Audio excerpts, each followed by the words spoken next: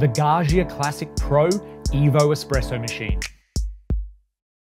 Using a 2.1 litre water tank filled from the top, it's also removable from the front.